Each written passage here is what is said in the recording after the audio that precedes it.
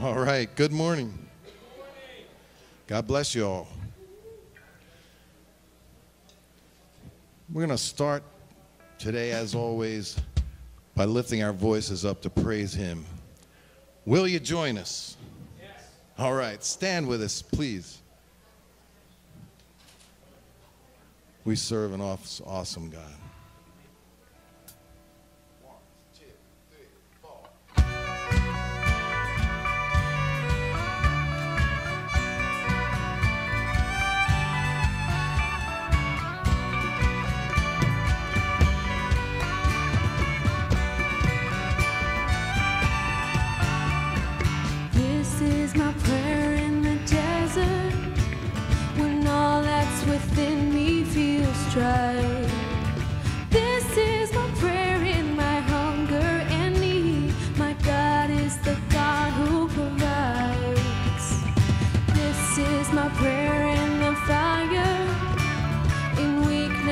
try.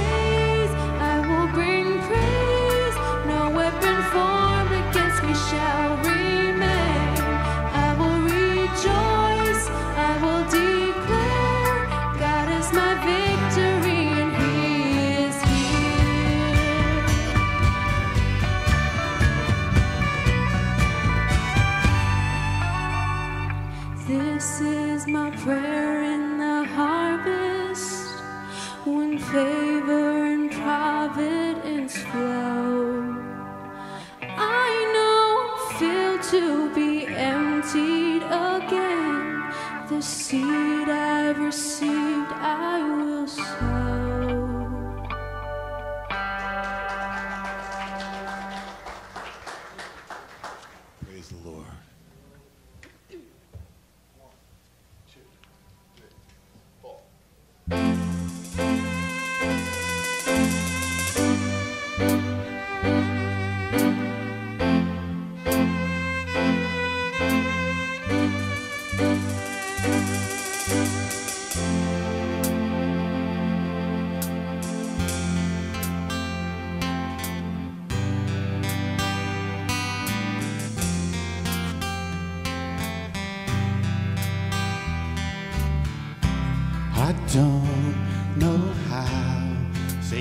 Exactly how I feel.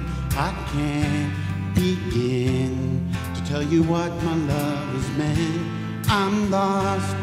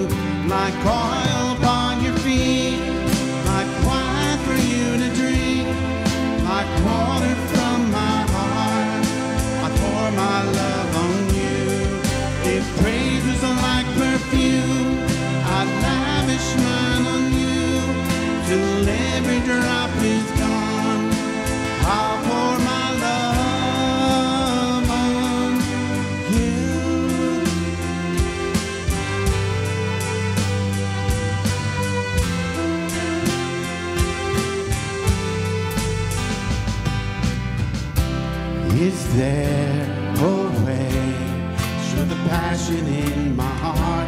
Can I express truly great I think you are, my dearest friend? Lord, this is my desire. Pour my love on you like oil upon your feet like wine for you to drink, like water from my heart. I pour my love on you.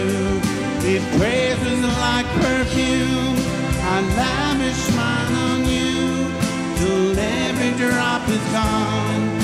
I pour my love on you like oil upon your feet, like wine for you to drink, like water from my heart. Pour my love on you. If like perfume, I'd lavish mine on you till every drop is gone. I'll pour my love on you.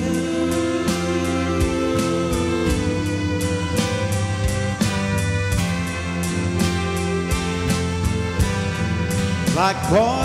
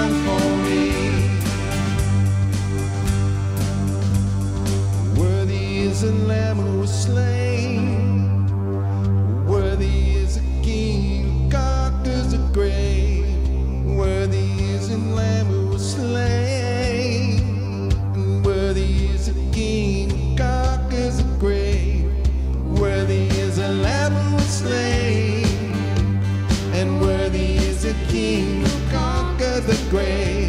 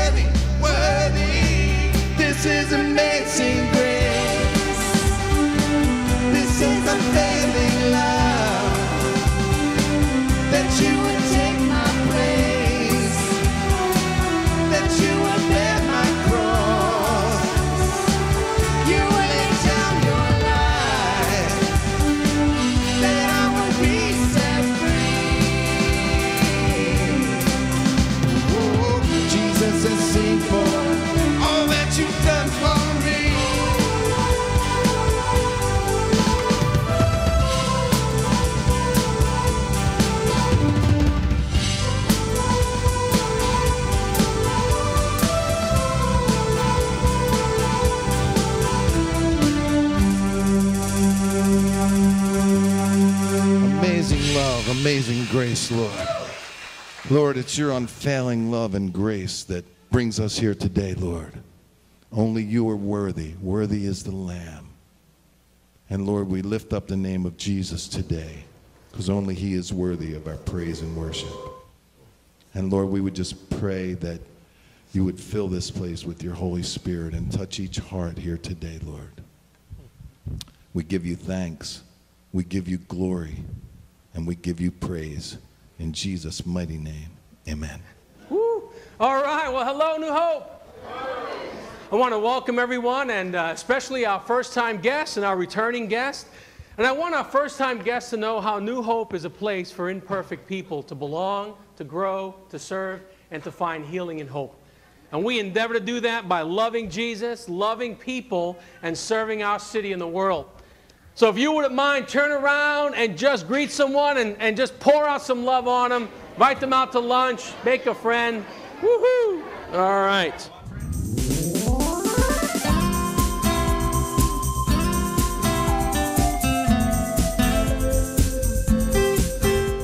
God loves you forever and ever and ever. Isn't that awesome? You know, as, uh, as Americans, we idolize independence. We even have a declaration of independence.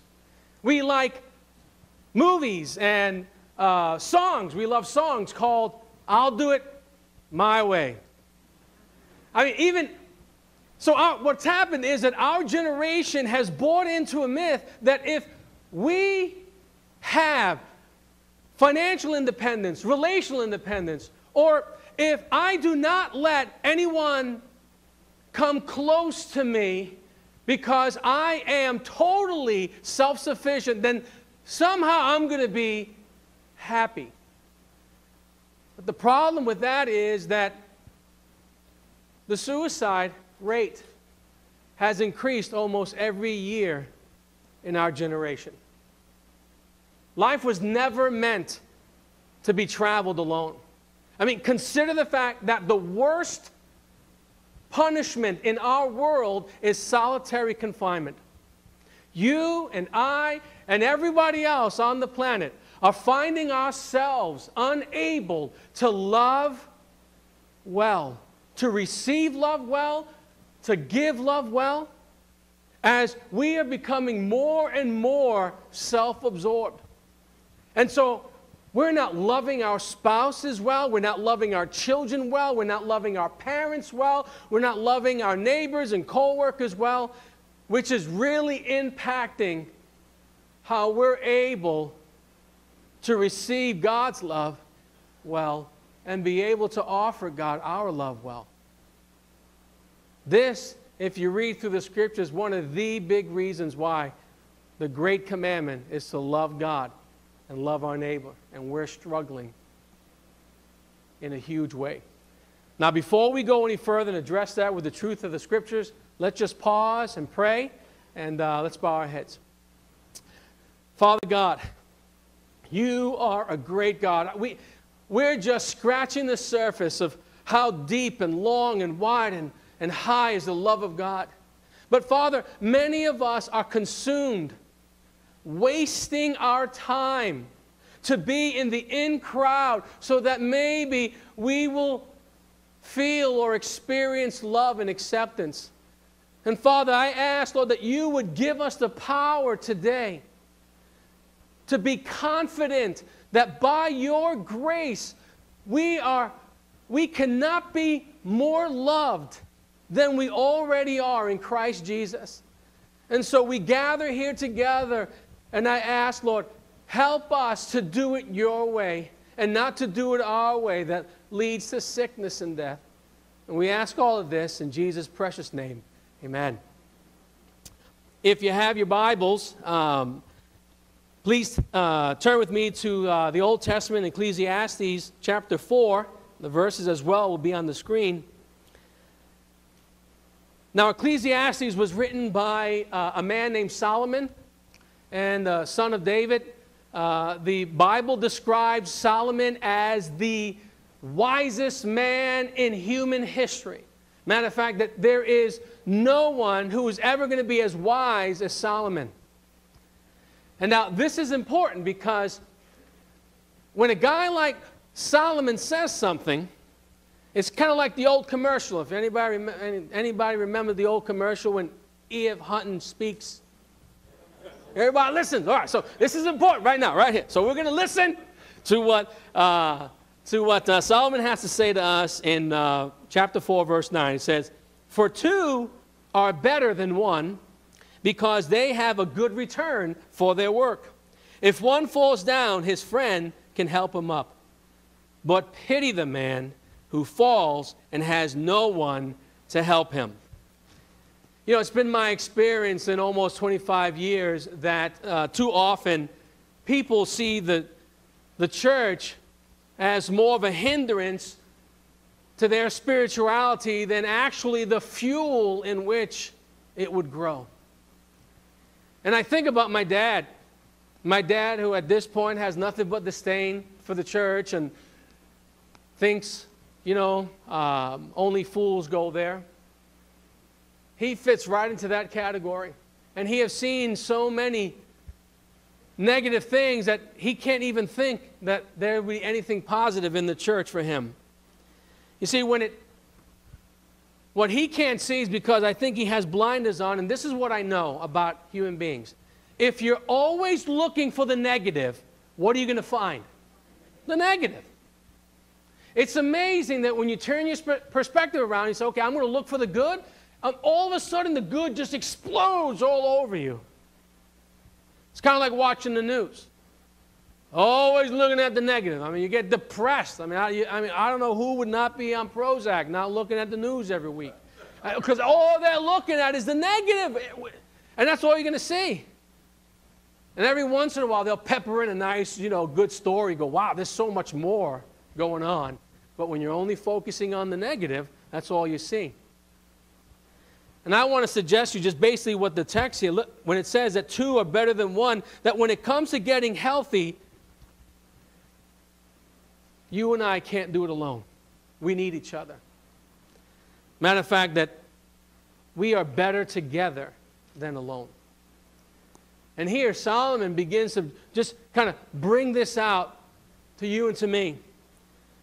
Let me give you a New Testament passage so that you can see that this is a theme throughout the whole Bible, from Old Testament, New Testament. Turn with me to Romans chapter 12, and we'll be reading verse 5, and it says, so in Christ, we who are many form one body, and each member belongs to all the others. Now, I know right away, as Americans, we go, oh, wait a minute, what do you mean belong? No, no, no, no, no, no, no. We don't, we don't belong. I mean, maybe my mother, okay? I belong to my mother, and my father, and if I have, if I have a spouse and some kids, that's it, okay? I got my own little castle here, me against everybody else. But Paul here uses this word belong in such a way that even the culture of its day just explode and go, wait a minute, that cannot be the case. See, there's something here that Paul knew that he believed in faith that changed it for him. And this is the thing Paul believed that every single man, woman, and child in the world was made in the image of God. And being made in the image of God, that God loved every single man, woman, and child. And He created us in such a way so that you and I would never, ever, ever violate another human being made in His image. And that's why he, from over and over, from the Old Testament to the New Testament, from the apostles and the prophets and the psalmists, constantly told us to, to love God and love your neighbor. Why? Because we are all made in the image of God. And they are worthy because God said so. No different when I told my sons. I said, listen, there's only one person that does the spanking in this house and the hitting. And that's Papa. Because Mama don't want to do it. Mama just make love, love, you know. I, I got to do the spanking. Yeah, see? I got to do the spanking. It's all right. But I never allowed my sons to hit their other son. I said, listen, that's my son. I don't care if he's your brother, he's my son. You don't hit him. I love him. And I'm not going to allow you, I don't care if you're his brother, I don't care if you're your sister, and uncle, nobody, I'll do it. And I believe in the same fatherly way that our Father in heaven looks down and says that I love you guys so much. You're so valuable, and I don't want your brothers and sisters violating each other. That's how valuable you and I are. You and I were not created to do that at all. Now, today I'm going to share the exact opposite of what many of us may have been taught our entire life. Because I believe God promises that if we will do this and do it His way, that you and I will never have to struggle with loneliness. That we will be able to overcome fear, fatigue, frustration, failure. That we will be able to handle depression and despair and have it all replaced with God's hope and God's love. You see, God teaches us that the key to joy in your life and in my life is not independence, it's interdependence. Because we need each other. We belong to one another, as the scripture just taught us. All made in the image of God. See, God wired us in such a way not to go through life alone, but in community. Why? Because every single one of us have blind spots when it, when it comes to controlling our anger, our bitterness, our unforgiveness, our eating habits, our addictions like drugs, alcohol, pornography, etc., etc., etc., etc., goes on the list. And because of these reasons and many, many more, is why I'm wrapping up this teaching series here today called Bod 4 God. Because our nation is in a spiritual crisis which has led to a health crisis where hundreds of thousands of Americans are dying every year, not fulfilling their God given destiny because of health related problems brought on by the belief that our bodies are to be used to gratify self instead of God. And so we began unpacking the first Bod 4 God principle of dedication and how our physical health and our spiritual health are connected, and that's how we're able to honor God with our body.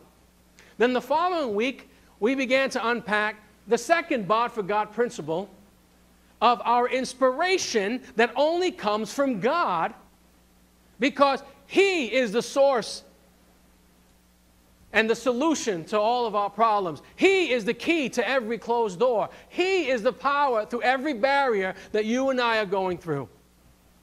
And then last week, we began to unpack the third Bod 4 God biblical principle of eating and exercising, which shows us how to break free from this life sentence of slavery and bondage in our life to things and stuff. And then this week, we're going to finally wrap up with the last Bod 4 God biblical principle of how teamwork makes our God given dreams work. They literally make them stick. You know why? Because that probably is one of the biggest struggles you and I have. We get excited for about 3.5 milliseconds. We will go out and we will drop 20, 30 pounds. We will, I'm going to pray and fast for about five minutes. And, and, and we, we do not have the ability to continue to do it on our own unless God gives it to us. Unless you and I are filled with the power from heaven, you and I will give up 3.5 milliseconds after we've made our commitment. And this is why. God knew that and how He created you and I, and He provided an unbelievable way for you and I.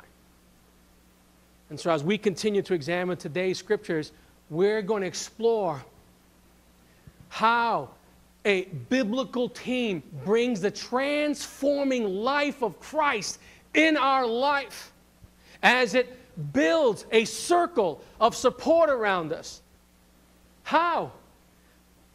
By having confidence in God's unconditional love that makes you and me insiders, not outsiders.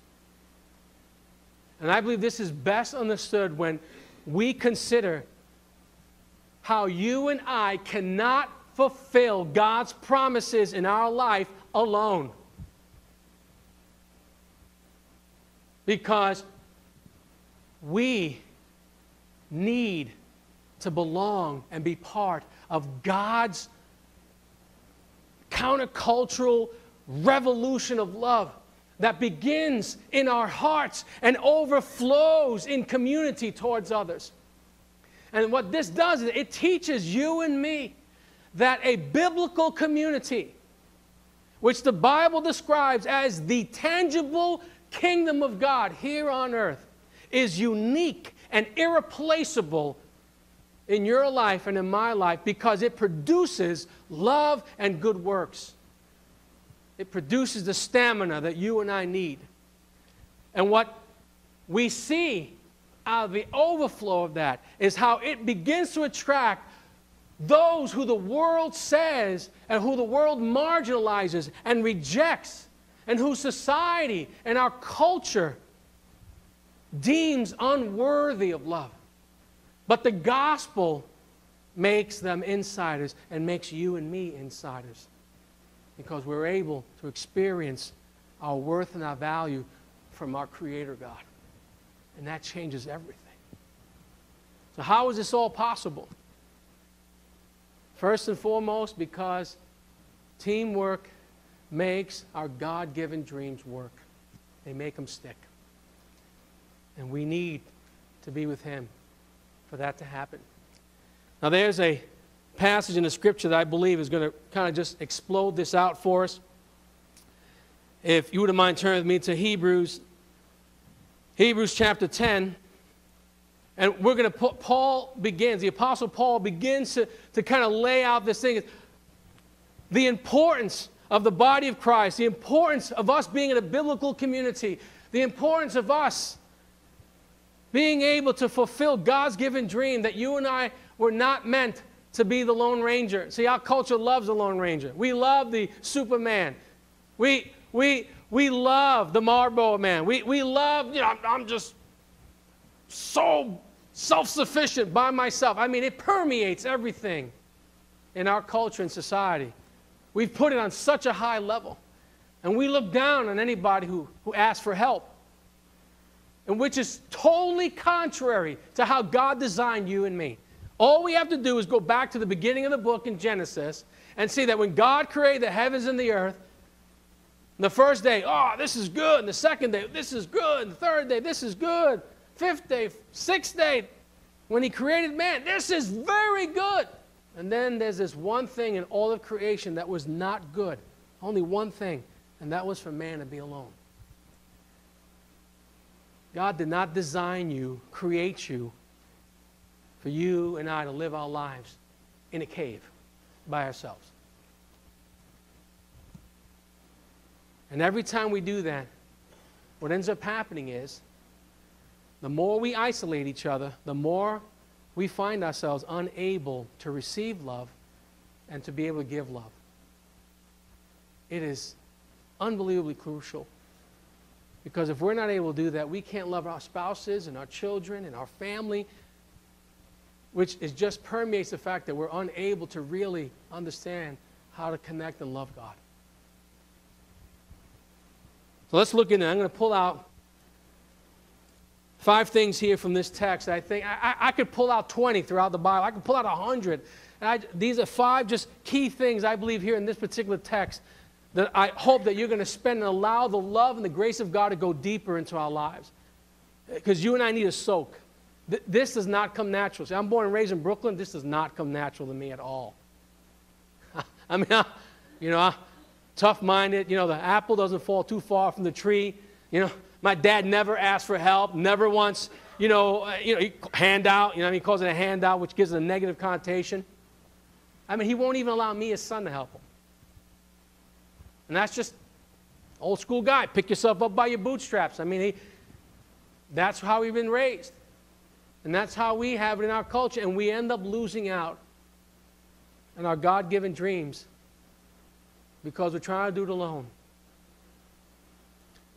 Well, let's read the text. Hebrews chapter uh, 10, verse, starting with verse 19. It says, Therefore, brothers, since we have confidence to enter the most holy place by the blood of Jesus, by a new and living way open for us through the curtain that is his body, and since we have a great priest over the house of God, let us draw near to God with a sincere heart and full assurance of faith having our hearts sprinkled to cleanse us from a guilty conscience, and having our bodies washed with pure water.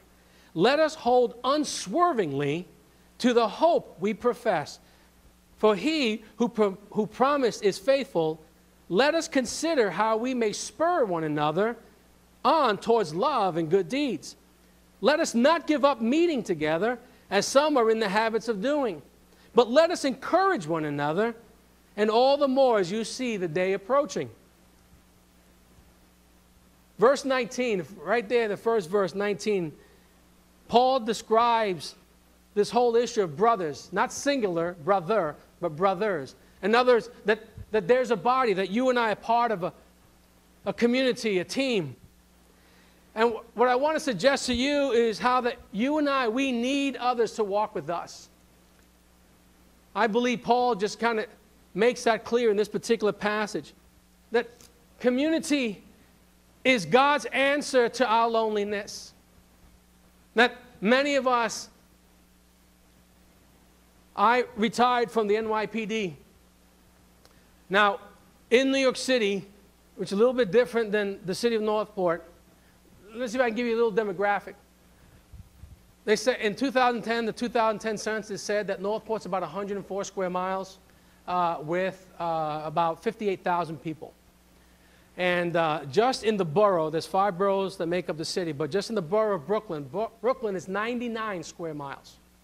And it has 2.8 million people in it. So if you think your streets are crowded, you don't know what crowded is, okay? Now, the reason why I said that was because I can't tell you that in a, in a, in a borough with 2.8 million people, that in all my years in law enforcement, I met some of the most loneliest people ever. I mean, there's people everywhere. I mean, it's, it's like a big old ant hill. And people are lonely. Now, I'm the chaplain for the North Port Police Department, and I go on, on uh, uh, rides with them. And though the intensity probably is not the same, but I'm telling you, I can't tell you how many houses, how many calls we get. And most of the times, if you've been in law enforcement for more than five years, many times you'll get calls just because people are lonely. And they just, they don't talk, they have no friends. They got neighbors and right to left and in front of them. They got whole bunch of people, but for some strange reason, we don't talk to each other. We go from our air conditioned house into our air conditioned car, into the, to the air conditioned store, buy our groceries or go pick up food or whatever, go back into our air conditioned car, drive to our house, hit the remote control for the garage door, wave at our neighbor, and that's the extent of us connecting with our neighbor. Welcome to Florida. City of New York City, no different. You get people who live one building, 5,000 people, and never know your neighbor across, right next to you, above you, below you. And I tell you, that's not how you and I are to live. The most loneliest people. And God created us in such a way that you and I would be able to experience life in a richer way and community is what I believe God's answer to our loneliness. There's no doubt in my mind. I mean, look at if you look at the scripture, God sent out the disciples individually, two by two, minimally. If you look at when Jesus went to the uh, Mount of Transfiguration, he brought James, John, and Peter with him. When he went to the uh, uh, Garden of Gethsemane, everywhere he went, he never went alone. Matter of fact, he actually went to the disciples in the garden and he says, Could you just pray with me for an hour? Come on, buddies. I need you, man. Even in his humanity, he was constantly reminding you and me of our need for one another and our belonging and how important it is for us to fulfill God's purposes and God's plan in our life together. You and I were not called to be alone. And that's why Paul begins there with this issue of brothers. He jump down in verse 24, and says, Let us consider how we may spur one another.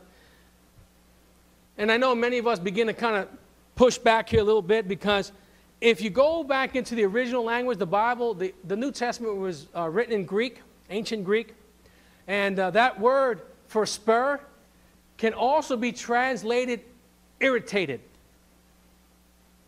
Now, that's kind of, from my point of view, I like that. I'm pro, you know, to irritate you. Some of you who've known me more than 15 minutes probably go, yeah, man, you irritate me to no end. And now I'm not talking about that type of irritation. I'm not talking about the irritation that you see, that uh, my dad sees in the church because he's always looking at the negative. We're talking about the fact that you and I, that we need others to watch over us. And again, I know we begin to push back because we're Americans and we idolize independence. And I don't need anybody. And I, you know, I'm, I'm going to have my own. I don't want to walk across the street and ask, for a cup of milk or eggs or such and such. I'm going to get my own. And I tell you, we have fallen so far, even from our own culture. But you and I, I believe, as the word says here, needs because I believe God answer to our defeat as community. I mean, think about this. Um, you and I have blind spots. They're just things you and I do not see. And it's right there in front of our nose. And what irritates us is when somebody comes along and says, hey, you know, you, you, you got a smudge on your nose. No, I don't. Yes, you do. And that's someone who cares for you. But our natural reaction, just like mine, is to push people away. No, no, no, no, no. And I tell you, it is so important because we need to be like parents. See, when I, and this is why our, our adolescent children and, and, and our teenage children, they just grit their teeth and they suck on them, you know, and they give you all that attitude because we love our children way too much to see them do something in their life that we know is going to hurt them. We love them way too much. We will irritate them for love's sake, for Jesus' sake. Because we've walked this life and we know the pitfalls and the danger and the dead end and the suffering that's at the end of their road. And they're too young and too inexperienced to see past their nose. And they can't see it. And that's why the scripture says to spur one another. We have to be able to encourage one another and to love people, to be able to speak into their life in such a way that they will not give up.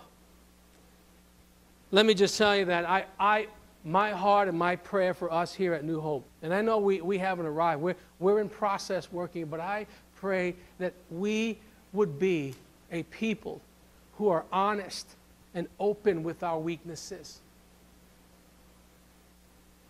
that we are so confident in the love of God that that is our source of self-esteem, that is our source of strength, that we can literally speak into one another's lives, to spur each other, as the scripture says, and not be so easily offended and wounded and, oh, you know. Let me tell you something. It takes someone who cares for you. The scripture teaches us in Proverbs that Better a harsh word from a friend than choice words from an enemy. And a friend who cares about you more than themselves will have the courage to be able to speak into your life, even if it risks the friendship. That's what a parent does. I know that if I have to say something to my child, who's a grown man now, I want to listen. but anyway, I love him enough, even if he doesn't like me. It's okay. Because I know I'm doing everything I can for him.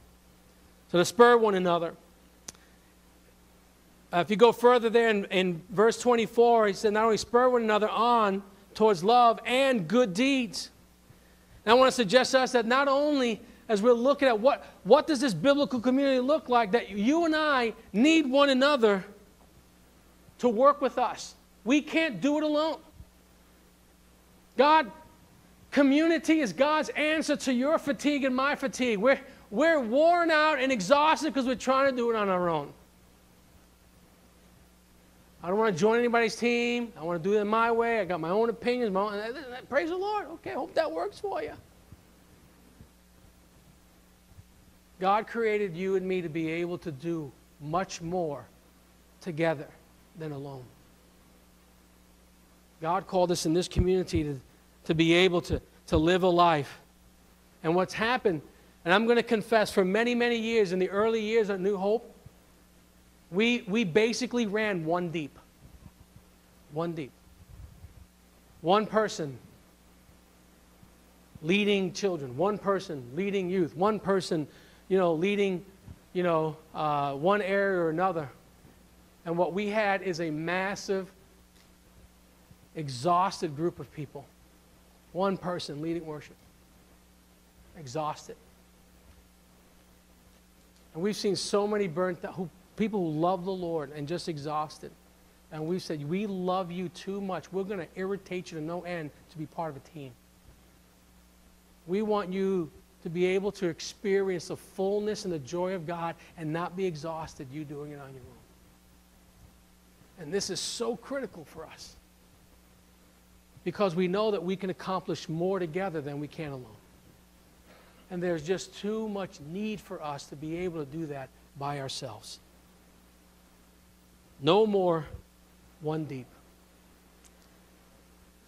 Verse 25, it says, Let us not give up meeting together. And I, I want to su- suggest here that we need others to witness alongside with us. This is so critical, I believe. Not only is it important for us to watch over us, not only do we need people to work alongside us, not only do we need people to come alongside to, to take away that deep loneliness in our hearts that we all feel on some level, and which makes us bitter and angry, and, and, and, and we become unsociable, and we can't receive love, and we can't give love. And I mean, it just, I mean, you, you have coworkers like that somewhere. I mean, neighbors.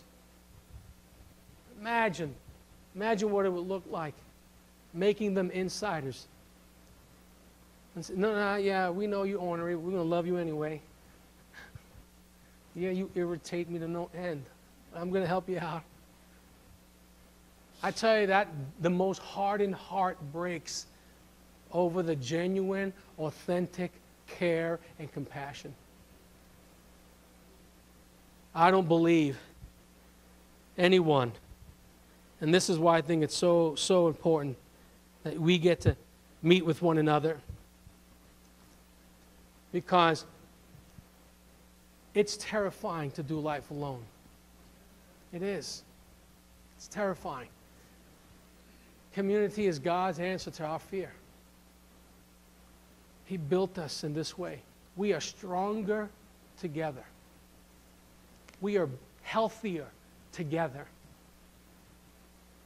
We enjoy life together. Who likes to be on a vacation by themselves? I forgive you for some of those. My, my apologies if I offended those who do like going, ah, it's me and the tree. God bless you. You know, nothing wrong with that. But this is what I know we can't live there forever. I mean, all of us need a time of draw away and just recoup. I get that. I'm not talking about that. That's, that's normal, that's healthy. Okay? I'm talking about the one who just, I just, they're miserable, they're just ornery, and they just don't see the benefit of how they would be more healthy together. Why it's so important, why God commanded us to meet together and gather together, because He knows we're more healthy that way. He knows that it answers the longings of our heart and the loneliness of our heart, the fear in our heart, the fatigue in our heart. And the enemy is out there doing everything he can to keep us away. Last thing I want to suggest there, the end there of uh, verse 25, it says, But let us encourage one another all the more as you see the day approaching. And let me just say that this is of the one that we push back the most, especially for us as men.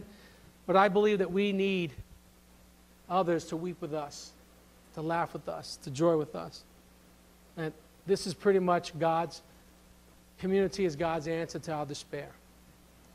I'm going to tell you something. It is our this our generation has seen the largest amount of suicide I have ever experienced. This is what the research tells us for law enforcement that the number one reason for death over the last 20 years, except for two years, for a death of a police officer was not a line of duty death suicide. Other than 9 11 and another year, that was the only years that suicide was not the number one. I'm going to tell you something. Here in the city of North Port, I can't tell you how many call outs I get and how many people who are so lonely and so full of fear and so full of despair. I'm talking from young and old and everything in between, okay, taking their lives. It is, it's like an epidemic in the city. It blows my mind. I'm like, what in the world? We've lost our sense of hope. And many of us are just so exhausted trying to get into the in crowd so that we would feel loved and accepted. And we realize that God has already un- lavishly, unconditionally loved you. See, this is, this is the great thing about, I believe, how God is so concerned for you. I don't believe anybody should be alone when they're in the hospital waiting to see if a loved one is going to make it. I don't believe any one of us should be alone waiting for that phone call from the doctor to see about our test results. And I tell you, you guys here at New Hope do a great job because you're considering and thinking about someone else more than yourself.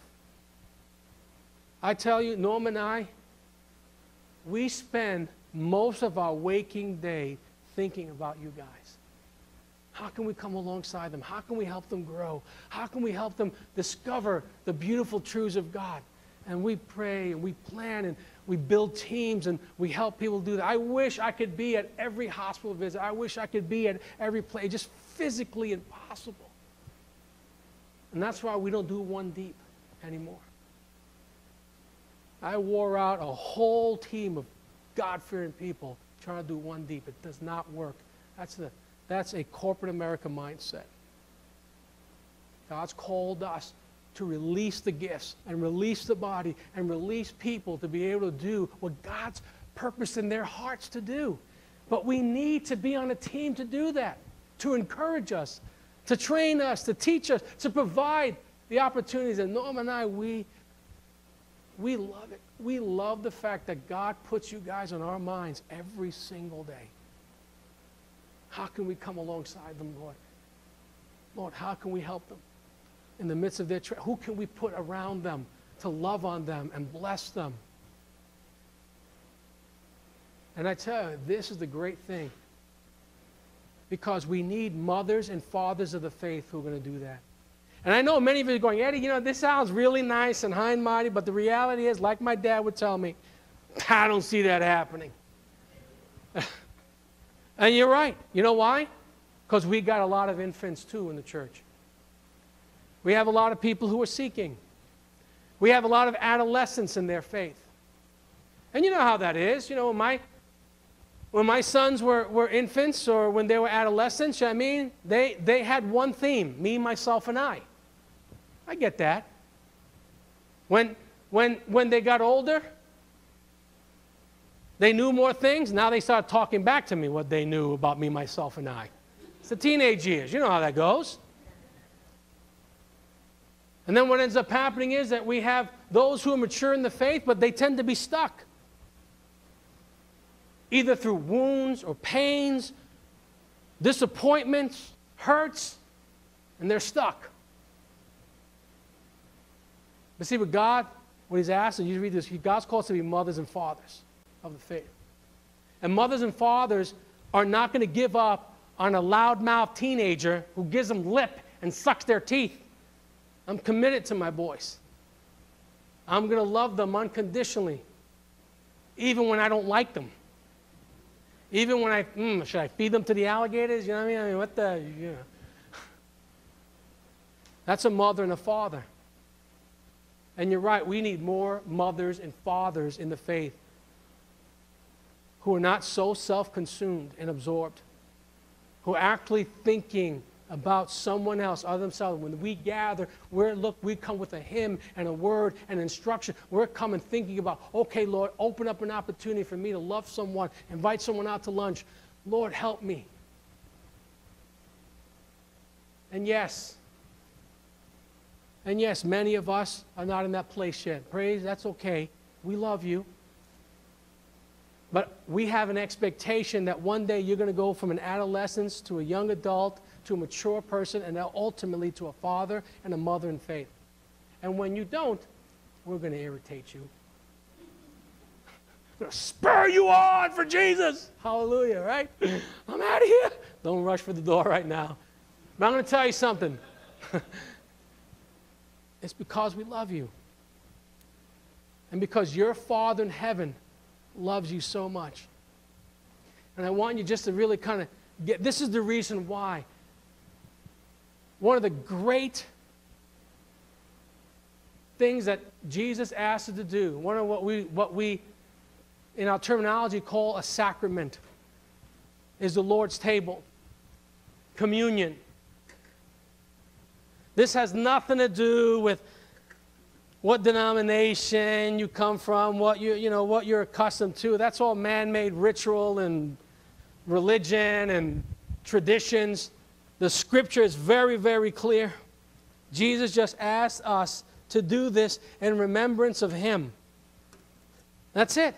It's the only scripture you're going to find in there. I'm not going to ask you if you're a card member, card carrying member of this church or that church, or if you did these 15 things or whatever. Well, when we come to the Lord's table, it reminds us of this one truth that our Father in heaven 24 hours a day, seven days a week, is thinking about you and how He can come alongside you and how He can help you and how He's loving you when you become the most unlovable person right now. When you're in rebellion, when you're in disobedience, when, when you're pushing away, when you're in those teenage spiritual years and you're just fighting and fighting and fighting. You don't even know why you're fighting. You're a rebel with no cause, but you're fighting, right? And our Father in heaven he thinks about you. He's planning for your success. He has a plan and a destiny and a purpose for you. And He's saying, Listen, I want the best, best, best for you. And so when you come, I want you to remember that your Father loves you more than anything else. And because of that, He, He, not men, created the body of Christ come alongside you, to spur you on, to love and good deeds, to spur that in because you and I don't have it naturally. You and I naturally do not have not an ounce in of ourselves. We naturally default to me, myself, and I. We all do.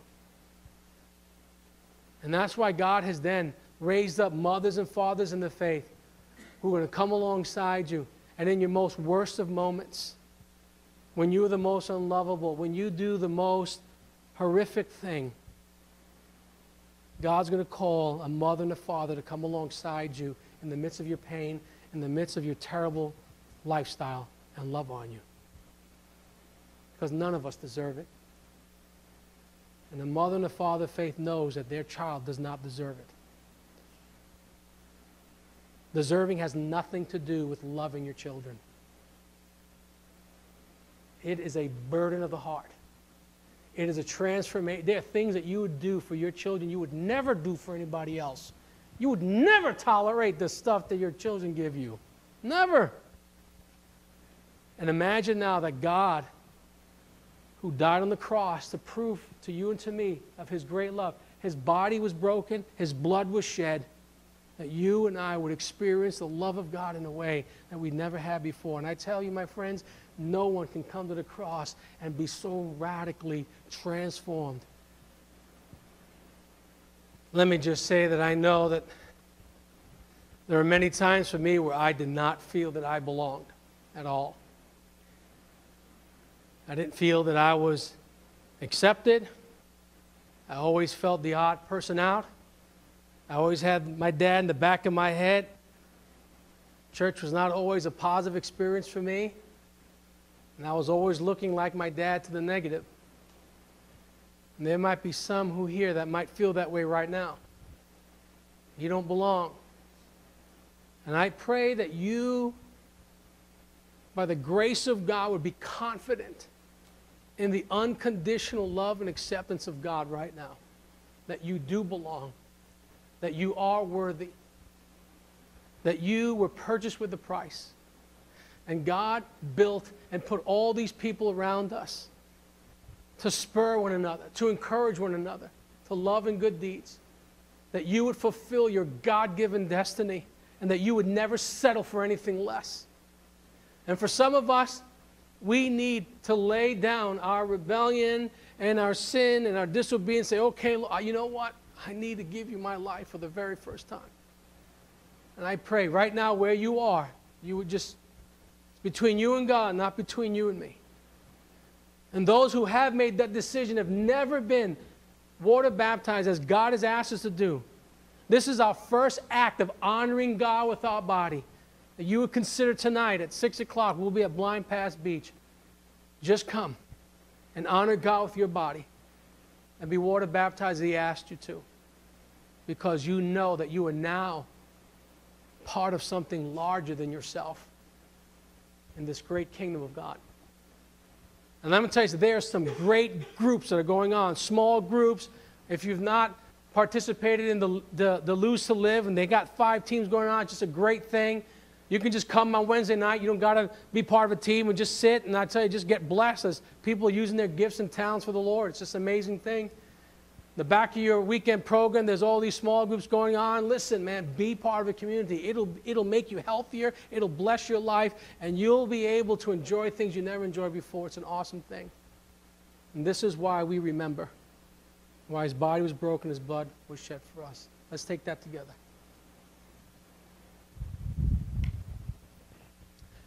Father God, I thank you, Lord, for every single person here. And may we continue to allow your love and your grace to go deeper and deeper in our life as we begin to trust you more and more.